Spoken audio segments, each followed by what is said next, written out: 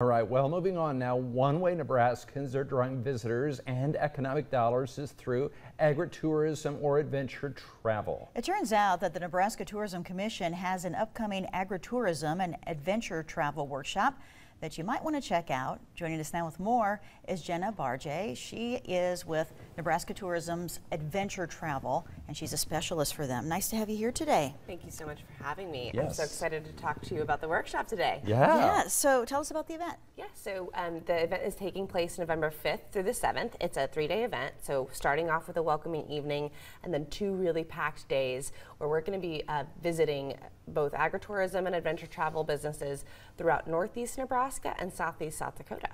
Hmm. So I hear this is kind of, you know, you're working with South Dakota a little bit on this. Absolutely. So we've partnered with South Dakota State Extension to offer this workshop.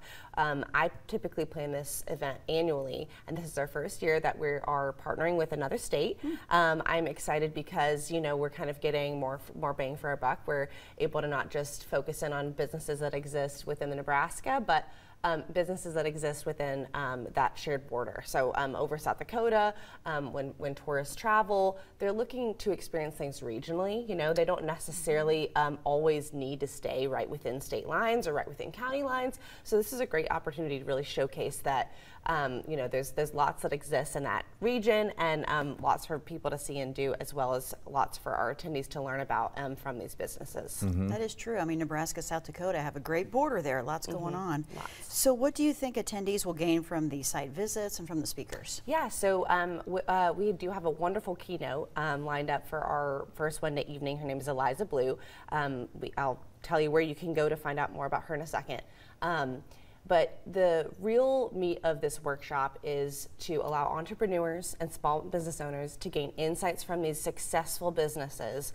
What have they done right? What mistakes have they maybe paid, made in the past that can other people can avoid as they embark on this journey? If maybe they're looking to start their own um, agritourism um, venture, um, you know, a lot of our folks that um, start these businesses in Nebraska are traditional farmers and ranchers, so they can, you know, really gain key insights of, you know, how do we, how, how you know, how do I go about, you know, embarking into tourism, um, starting something new, um, and these businesses really have done that um, very effectively, um, or they've, um, you know, been around for a long time and doing great things. So mm-hmm. it's just, you know, the senior, the senior people within the state, um, kind of show, helping the entrepreneurs and helping those, those earlier business startups get their foot in the door. Mm-hmm. I know you probably mentioned this already, but what would be an example of agritourism? Sure. Um, so um, it's it's fall. Uh, mm-hmm. uh, lots of us are probably gearing up to plan our trip to our local pumpkin patch. Okay. Pumpkin patches are an example of agritourism. Mm-hmm. Most people that have pumpkin patches, it's not their full-time year-round gig. Mm-hmm. It's a mm-hmm. fall activity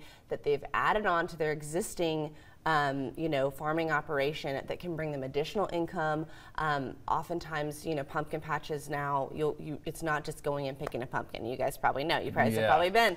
It's, it's you've got your hay ride and you've got your corn pit and you know all these other fun family activities that can be easily added on to make it a full day experience, um, you know, for folks to get out and, and enjoy fall and enjoy these fun activities. Mm -hmm. Perfect. All right. Where can people get more information about this? You can go to visit Nebraska slash industry. That is where we have all the information posted for our workshop. You'll see the workshop posted. You can click to read more. Um, you can learn about our, our keynote, Eliza Blue, um, the full agenda, what we've got, got lined up for you, the businesses that we're going to be visiting, um, as well as a link to register because we really want people to register soon.